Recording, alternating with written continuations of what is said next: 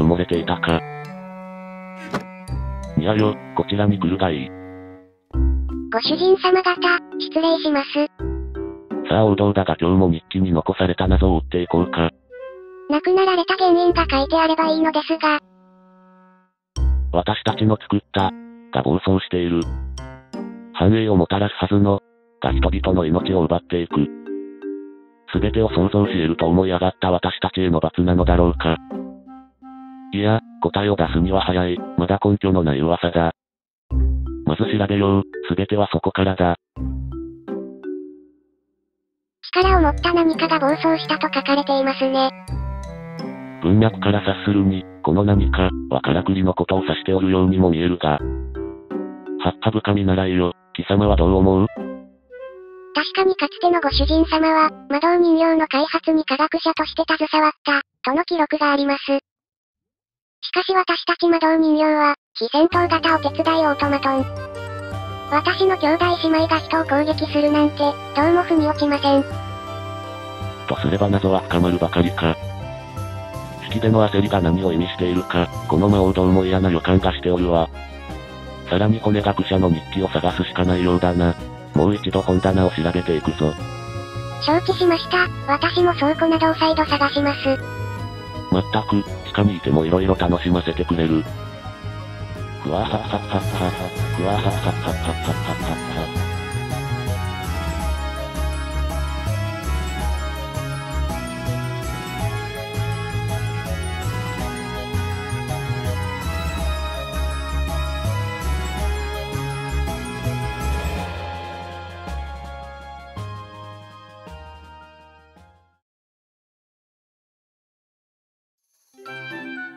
枯れましたね。うむ、枯れたな。やはりハイドロエンゲスだけでマナを集めるのは無理があったかと。皆まで言うな、今の持ち合わせの素材では限界がある。しかしこのままでは手から炎が出せる夢も途絶えてしまいますよ。その偏った夢をまだ抱いていたのか。アンデッド三人衆の方々はどうやって乗り切ったのでしょうか。奴らは斧を使った素体だからな、勝手も全く違う。まあボタニア式魔術が全てではない。あくまできっかけに過ぎん。からくりがマナの流れを理解することが肝心よ、はっは。なるほど、データベースに新しい情報が増えました。骨学者もからくりに魔術を使用させる、といったことはやりそうなものだがな。そういえば、あの夜もかつてのご主人様がそんな言葉を言っていたような。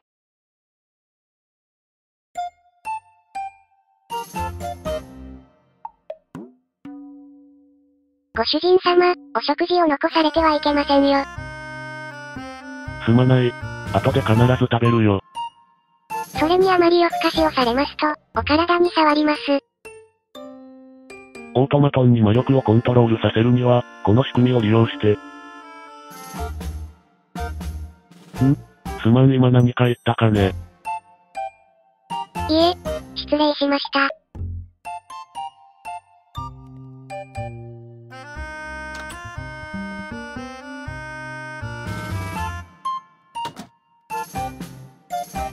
どうだったかしら、あの人の様子は。お食事も取らず研究に没頭されています。やはり奥様がお持ちした方がご主人様も食べられたのでは？私が行くと色々気を使ってくれるのだけど、手を止めちゃうのが悪くって。ひらめきがあったんだー、と目を輝かせ言うんだもの。もうやだなー、素敵に見えちゃうなんて。私はあの人のそんなところを好きになったんだなって。ふふ、だけどあの人、中身はきっと少年のままよね。それは偉いことですよ。まあ本気でお腹が空けば部屋から出てくるでしょ。何か食べるものはないかってね。さあにゃ、私たちは見守りつつ、新しく完成した罠の活用法でも考えましょうか。かしこまりました。大変大変でございます。また畜舎に奴が出ました。鶏が襲われております。奥様、休養ができましたので少し離れますね。それと教えていただいた新しい罠を使ってみます。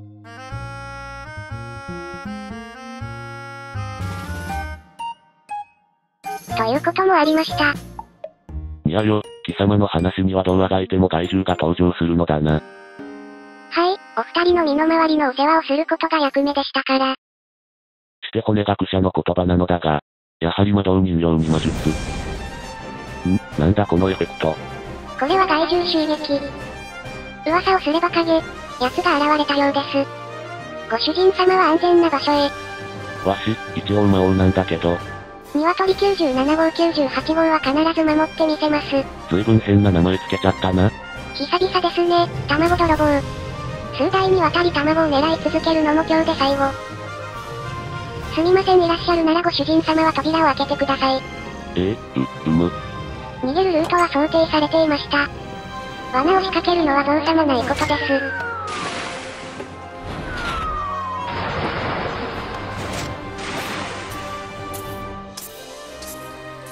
なんぞこれ。ふっふっふ、この下には大きな川となった地下水、伏流水が流れています。落ちたら最後、よほど運がない限り戻ってくることは不可能でしょう。どうもご主人様を怖がっていたようですね。いつもは攻撃的だったのですが、ふわははは野生の動物は正直なものよ。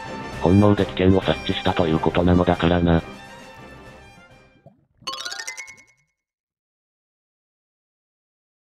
ほう、ヘビは老朽化した壁の隙間から入ってきたか。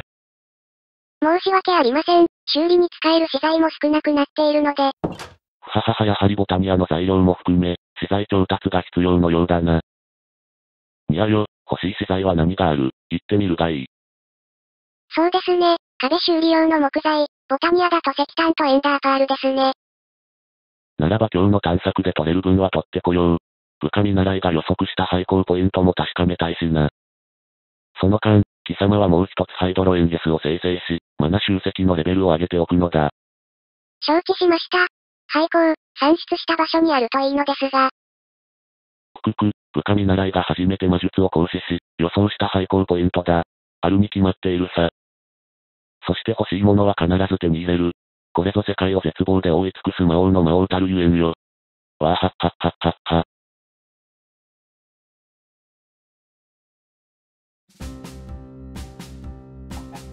さて今回も廃校探しの探索に出かけようか。確実にブロックの収集は進んでいるが、地上までの道のりはまだまだ険しいものだ。ではまず前回気になっていた、渓谷のような場所の確認。その後宮が予測した廃校ポイントを掘削していこうぞ。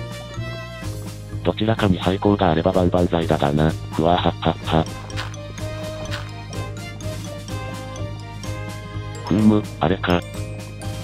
奥へ掘り進んでみんとわからんな。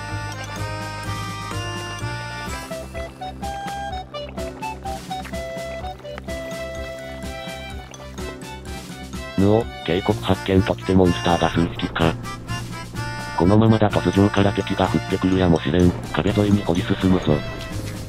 あと少し高さが緩和されていたら、自由に渓谷を探索できるのだがなふっはっは。わははクリーパーが3体にゾンビが2体か。これは倒しがいがあるわ。通路に誘い込めばおのずと1対1になる。かっこ撃破の基本だと身をもって教えてやろうふわはははは。して誘爆場所だが、この辺りに欲しいブロックがあったような。よしここか。何に飛び出してくるだと。母予想とは違ったが、爆破は急に止まらないとしつつ加工弾ゲットだ。魔王パンチ。なんだこの仲良しゾンビはふっはっは。2匹まとめて土に返してくれる。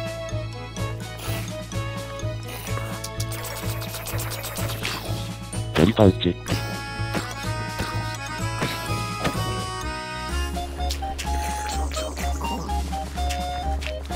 ふっははゾンビーフ2枚ゲットだわい。先ほど爆破したかったブロック前で再挑戦ぞ。よーし、戦力弾もゲットだ。さて最後に金鉱石も手に入れておきたいが。わはは迷路っぽい道でロマンがあるな。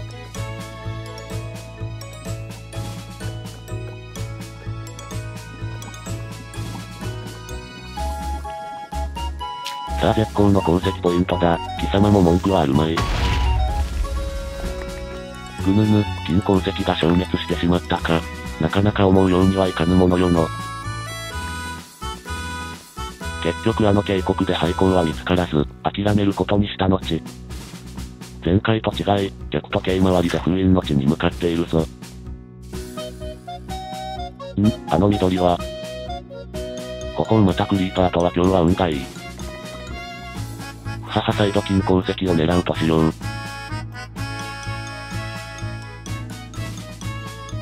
この角の誘導がどうもな。失敗したら爆発する式を使うものよ。さあ生贄となり我にブロックを捧げよ。ははははわしの思惑通り、無事金鉱石を2つゲットよ。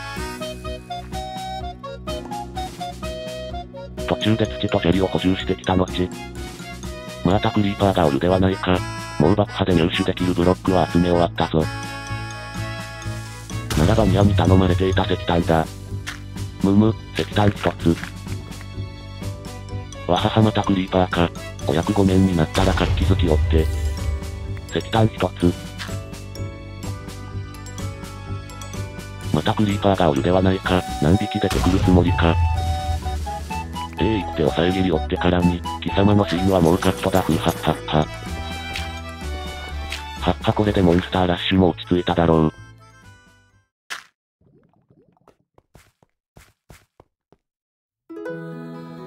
今日は晴れ、か。いとわしき場所だが、空が見られ風を感じられる。ここへ来るたび地上のことがわかり、そこだけは唯一良いと思える瞬間だな。さて今回も3種類の入手ブロックを封印の塔に積み、新しい高さで道を作るとするか。では Y 級の段2種類目、金鉱石だ。続いては移住の段1種類目、磨かれた花崗岩。そして同獣の段2種類目、磨かれた戦力岩だ。はっはっは、今回は Y11 まで高さを緩和することができた。一段の違いはないにも等しいが、地上は間違いなく近づいてきておるな。初期に入手できるブロックはほぼ積み終わり、次は廃鉱発見で15ブロックほどが塔に積み上げられる。逆に言えば、ここからは廃鉱が見つからない限り、積み上げるものがない状態と言えよう、はははは。では今日も掘削を始めようか。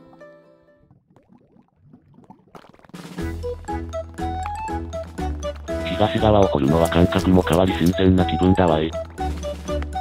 掘る位置も見定めたところで、部下見習いに連絡を取ってみようぞ。いやよ、欲しがっていた石炭だがな、残念ながら二つだったぞ。わ、ご主人様、やはり素手だと難しいのですね。うむ、クリーパーの爆発で採取するのはどうも運任せのようだ。そうするとボタニアの花、エンドフレームを使ったマナ集積は、廃鉱発見後と考えた方が良さそうですね。エンダーパールはマナタブレットの素材でもあったな。こちらも運だが見つかり次第連絡を入れよう。承知しました。どうかお気をつけて。16分ほど経過したところで、今回も溶岩湖と遭遇だ。今まで溶岩にはたくさんの苦労があったからな。見下ろせる高さで溶岩湖を渡るのはすがすがしい気分だわい。はは、だが他には何もないようだ。65分ほど経過して、広めの洞窟を掘り当てたぞ。むむ、水の流れが邪魔だな。ええー、洞窟を見渡したいのに目に水が入るではないか。方がない、周りを掘り広げていくかのふははは。縦穴を掘っていたら上からゾンビが降ってきたぞ。後々のことを考えると、そろそろ経験値も稼いでおかねばな。17回ダメージを入れたところでブロックを壊せば、負担も少なく倒せるものよは、は、は。よし、ゾンビーフ2枚ゲットだ。誰だよこんなところに落とし穴作ったやつは。むむそのいでたち。お前はもしや八男助トラを倒したやからか。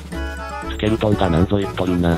ここは俺たちスケルトン8兄弟の縄張り。相手、ははははは、スケトラの無念、この七男助正が晴らしてくれる。なかなか俊敏な弓さばきだな。スケルトンにしてはやるではないか、ふっはっは。トンネルを掘って秘境だぞ。だが今日は時間がないので貴様の出番はカットだ。カットだとそんな横暴、まかり通ると思っているのか。なんだこれは、暗いよ狭いよ怖いよ。いやこれも魔王にのみ許された奥義の一つよふわはははは。体力も心もとなくなったし、あまり気は進まんがゾンビーフを食べておくか。うえ、やっぱまっついなこれ。そういえば以前言った怪談話だが、ゾンビの肉を好んで食べ、気づけば自身もゾンビになっていた。だが自我を保ち不滅の命を手に入れた。周りが滅びゆく中、永遠の孤独を知ったらしい。まったくひどい怪談話よ。まあわしからしたら永遠の孤独など、従えてしまえばいいだけのことだがなふわははは。その後64分経った後、ゾンビの相手をして、ゾンビーフをさらに2つゲット。最後の曲がり角まで来たが、ニアの予想とは裏腹に廃校は見つからずか。ふーむ、どこかで廃校を見落としているやもしれん。ふっはは戻り探してみるとしよう。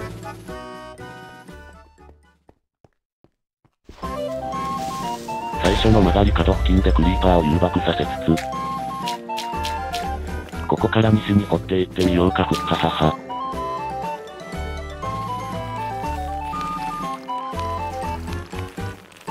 ほほう、大きめの洞窟がありそうな気配だわい。洞窟は広いが、肝心の廃校は見えず、か。わははこやつはどうも爆破じゃないとしっくりこんな。火薬が必要ない時は爆発させてやるか。おっと。冬を使うなど10年と1万年早いわ。じゃあ、これで直してくる。えー、どこへ行くのか、戻ってこんか。これで10年と1万年経った計算。ははなかなか面白いトンチを言うゾンビだな。褒美に土へ帰らせてやろう。なんだか懐かしい人。俺誰かを表せるの、好き。我の魔力が回復した暁には、配下として復活するだろうよ。ふむ、テアドロップのジャガイモか。クワがないと量産はできないが嬉しいものだわい。17分ほど掘り進んでみたが、結局廃校は見つからず土の補充だけ済ませ戻ってきたぞ。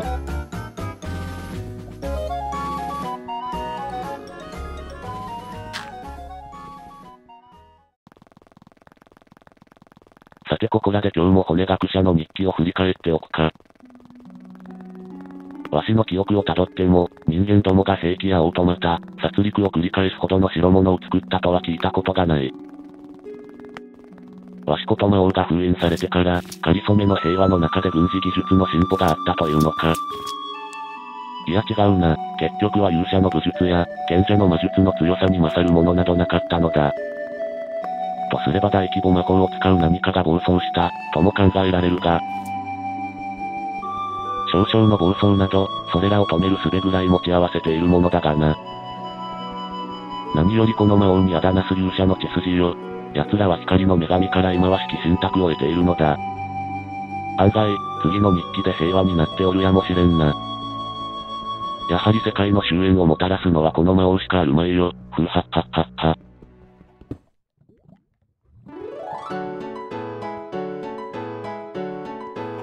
お帰りなさい、ご主人様。ご守備はいかがでしたか？ふーむ、こうしてみるとからくりめは、主人の居場所を守るために日々従事しているのだな。もし何十年そうやって過ごしたのならば、どうしましたかご主人様。いや何、一つ疑問なのだが、貴様はこの生活の繰り返しが苦になったりはせんのか。変な問いですね。魔導人形肉、という概念はありません。ご主人様のお世話をすることが魔導人形の役目ですから、日々を繰り返すこともごく普通のことですよ。ふわははは、つくづくつかみどころのないやつよのう。申し訳ありません。そのご様子だと廃校はありませんでしたか？なあにまだ諦めんさ。この魔王は諦めが悪いことで有名よふっはははは。ふふ、そうですか。では今日もその域にぴったりな、美味しいお食事を用意しますね。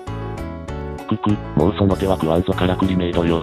そう言って卵スープと温野菜なのだろう。おっと、これは先手を取られてしまいました。毎回同じ手は食わぬ。この魔を舐めるでないぞふーはっはっは。では本日は美味しい野菜スープと目玉焼きにしましょうか。なんと。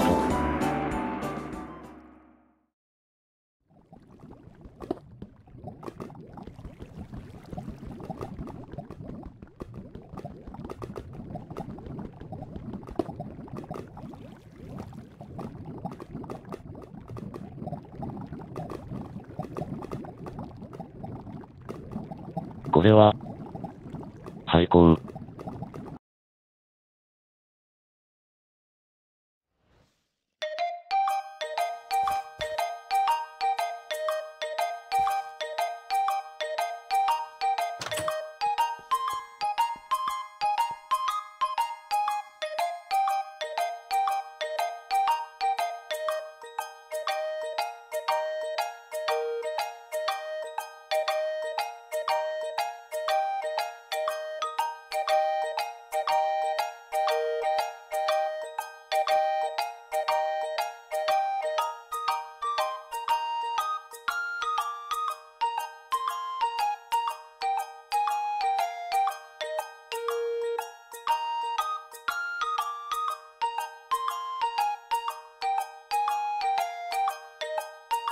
イラストを描いてくださり誠にありがとうございました。引き続き支援を大募集しています。皆様もぜひ描いてみてくださいね。